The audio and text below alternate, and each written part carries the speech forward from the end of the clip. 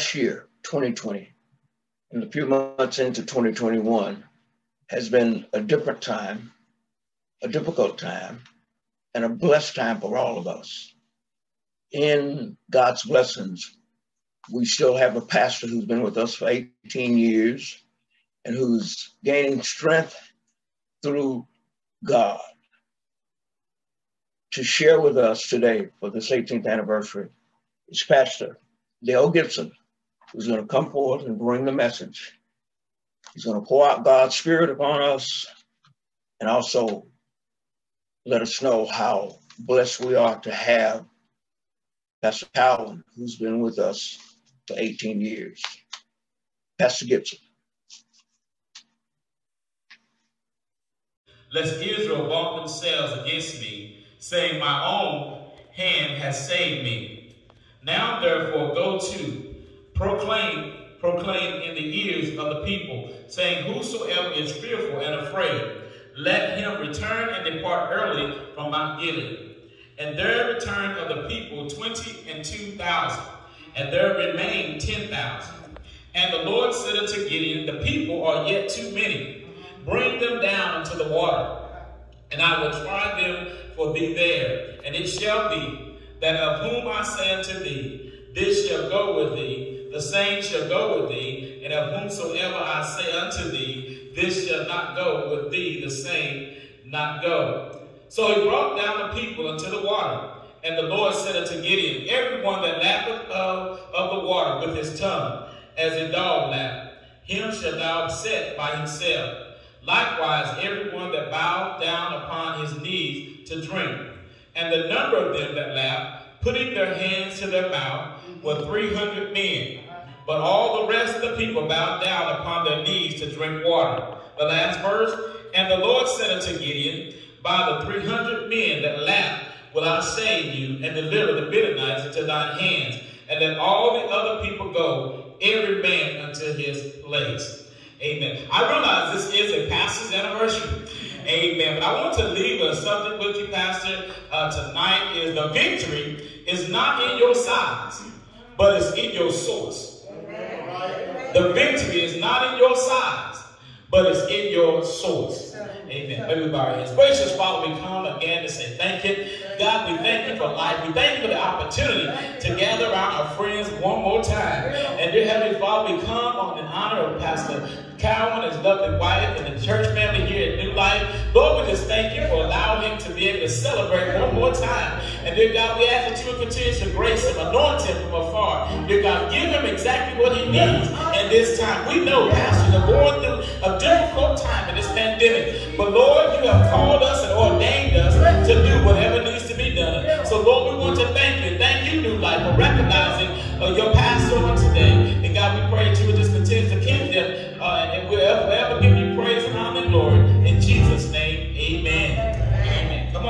Give us one more. We're going to go.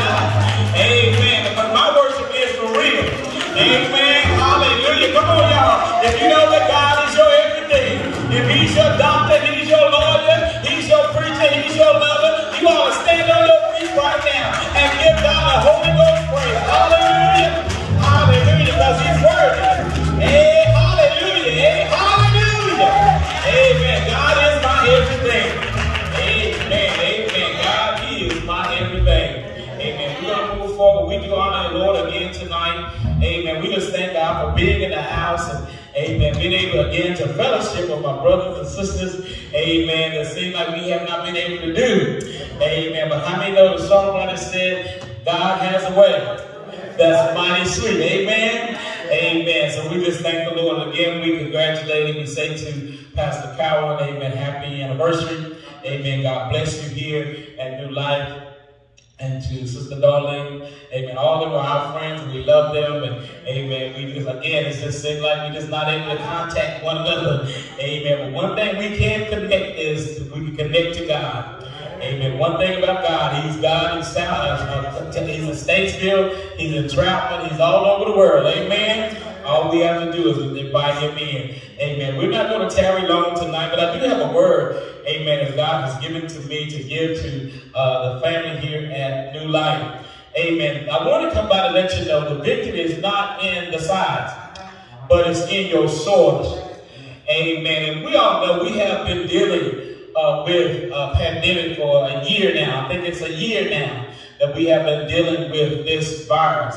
Amen. And through this virus, it has caused us to close our churches. Amen. Has caused us not to come together as a norm. Amen. So, but the Lord had to let me know that there is not how many people that come to church. Amen. It's the God that you serve. Amen. Amen. I know myself that it's God that is bigger than any congregation that you will ever have. Amen. But in this time, as I go through the story, amen, again, you may not understand it until the end, but the victory is not in your size, it's in your source. Amen. Here, Pastor Cowan, in our text today, today is there's a word about downsizing. See, God enlists Gideon to fight a battle and give him an unusual assignment to fight the enemy, and then take him through a screening process of downsizing before he goes to fight the battle.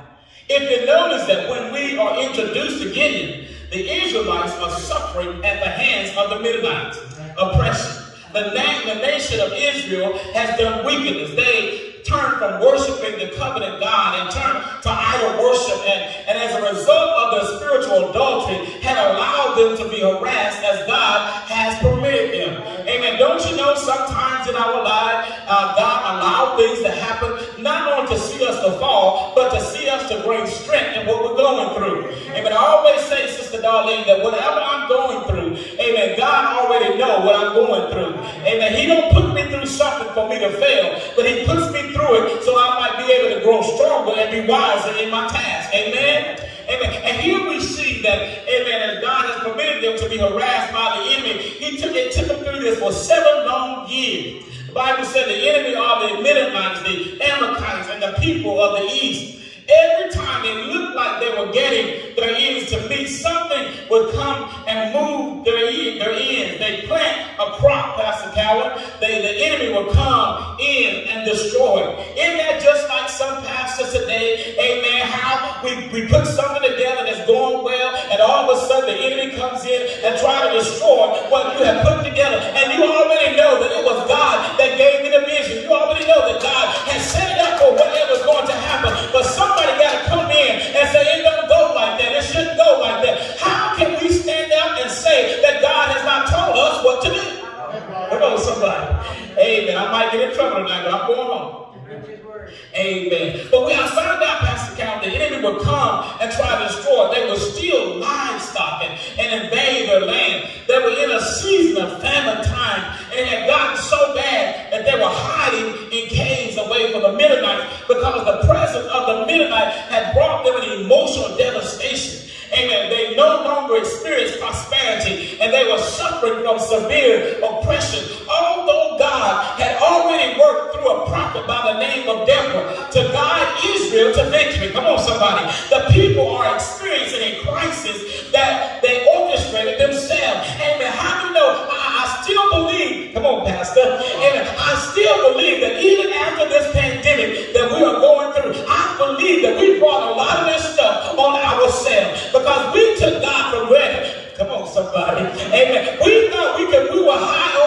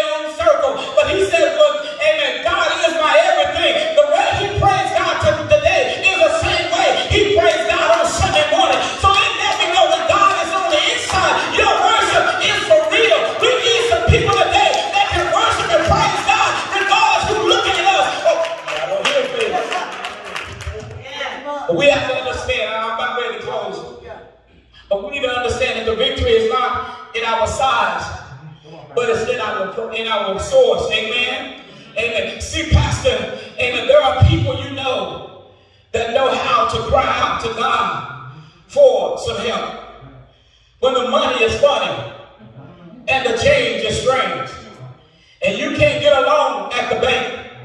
We have learned how to cry out for some help. Do I have anybody up in here that could not depend on or look at your refrigerator? Come on, somebody.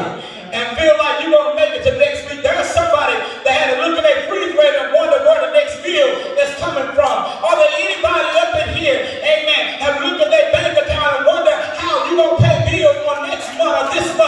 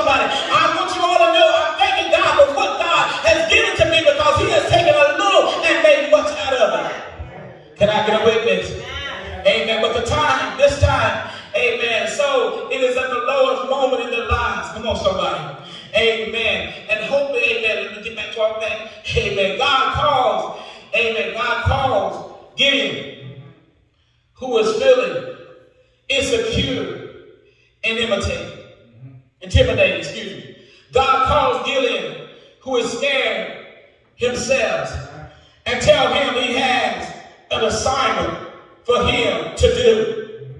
Pastor Cowan, 17 years ago, you would never thought that God had called you to pastor John's chapter First a New Life. Which one was it? Was New Life? Amen. New Life. Amen. One of the reasons why you probably thought that God, because I went there too. Amen. God, I know you don't want me to pastor my folks. Come on, somebody. Amen. I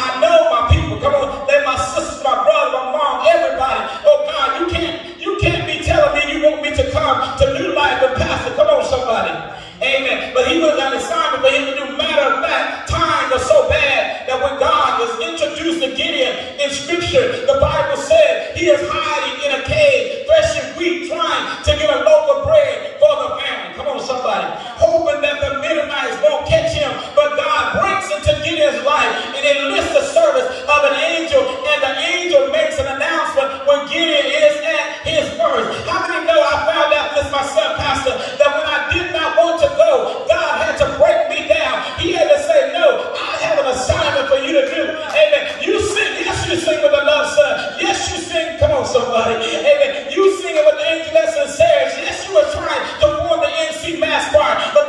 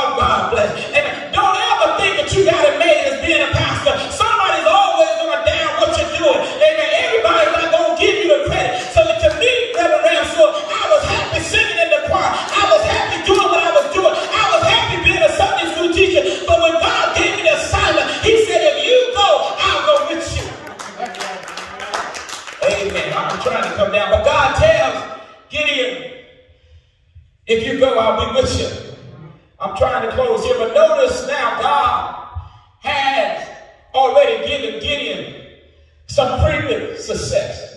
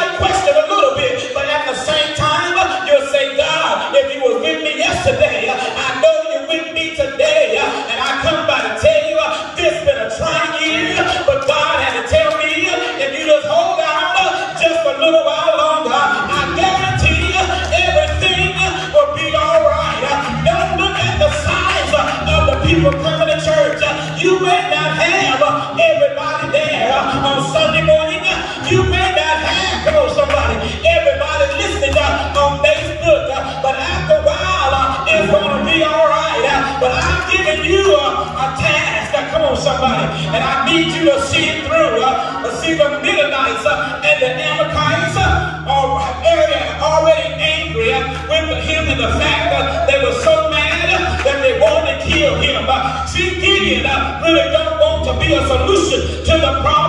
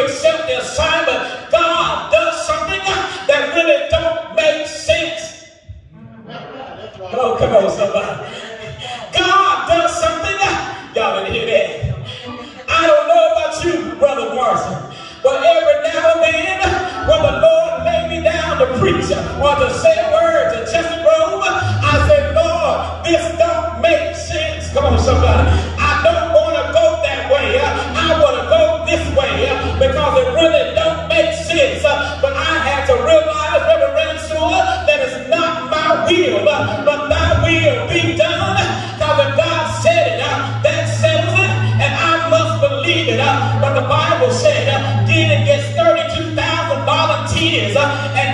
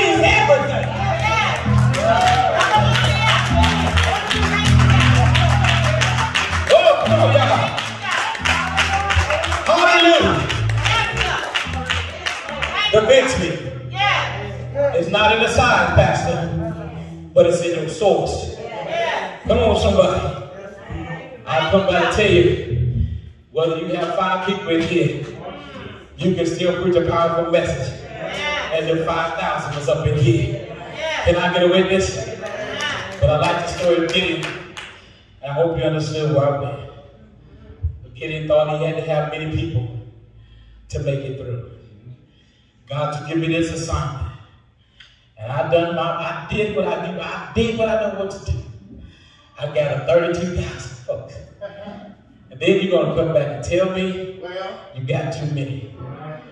Oh, my, my, my, my. I've got in trouble, Reverend Ansel. Because I tell you, you can't take everybody with you. Come on, somebody. Everybody can't go with you where you go. That's what that's what I was getting from this reference. Everybody can't go where you God is trying to take you. Because in, in your trying to fight a battle, in your trying to reach what God wants me to reach, everybody's not, everybody's not where you are. Come on, somebody. You still got some folks trying to tag you, hold you down. You think everybody want to see you grow? No, they don't. They got a good smile, good words of encouragement, but they waiting on you to fall. Hello, y'all. But God's so good, you go ahead. I'll be with you. Amen. You go. I'll be, you, I know you was minding your own business. And you know what? I'm, I'm trying to close. But I found out, honey, that when you mind your own business and you're in your comfort zone, that's when God says, okay, I got you where I want you. Amen. I need, and sometimes we have to know that place that God has us is not uncomfortable. It's not uncomfortable. It is uncomfortable, excuse me. It is uncomfortable at times. But how many know that's when God says, when you're uncomfortable, trust me. When things are not going the way you want to go, trust me. Don't worry, Pastor Cowan. Even I think y'all going back in your church in a couple of weeks. Amen. You still have some people that's not going to come back. Amen. You still gonna have some people that's still afraid to come back. You're gonna have some people that done got relaxed on their couch. Oh yeah. Come on, somebody. They done got relaxed. They done got relaxed in their uh, uh, uh, bedroom. What you call it? Amen. Everything is relaxed. Oh, I got my cup of coffee right here. Look at here. I got my preaching right here in front of me. Why should I have to go to the house of God? I'm comfortable now. Amen. Amen. But the Bible said, forsake not ourselves to assemble together. Amen. Amen. Yes, this is a season where you had to do it. But then when God starts clearly adding, we're going to see the people that really want to worship. Come on, y'all. Uh, and I'm going to close. But I remember saying something on Facebook with Brother Lamont about three months ago. It says, when we get, this is how we're going to do when we get back into the church. Come on, y'all. Come on. They had a dancing I said to myself, Brother Mars, see, we ought to be doing that now. Come on, somebody. Amen. Don't, don't wait till the battle's over. You ought to be able to shout now.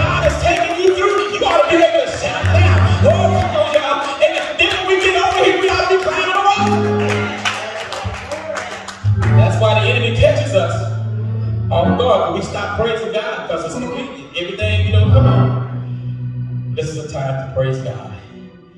Amen. This time we're going to pray and dismiss at the same time. Amen. Let us bow our heads. Those that might be listening this afternoon to this message, and you still know Jesus Christ as your personal Savior, I'm begging you in a time that we're living in, if you don't know the Lord, you need to get to know him right now. Don't wait too late. I've lost three family members since the year began. Getting ready to funeralize a cousin next week. I know that God is in control.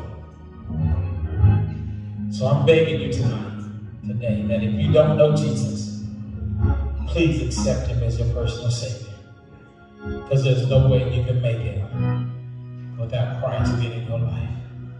Father God, we come to this evening to say thank you. We thank you for all you have done. We thank you, God, for the opportunity to come and to be with my brothers and sisters one more time.